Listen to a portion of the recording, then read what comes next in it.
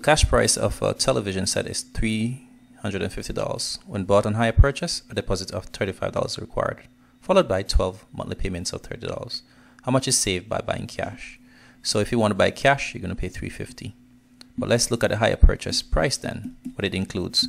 It includes a deposit of $35 up front, then 12 monthly payments of $30. And so that will give us 3 12s, that's 36. That's 360 right? And then, so that's that will be the hire purchase. $35 plus 360 is how much? Well, let's see. That could be 9, 395 right? So this is how much you'll pay hire purchase. Now, if you want to find out how much you save by cash, well, you'll have to look at the hire purchase price and the cash price, right? The cash price is $350. So if you want to look at the much you save, you subtract them and um, to be five, five four, forty-five dollars. The answer is going to be D.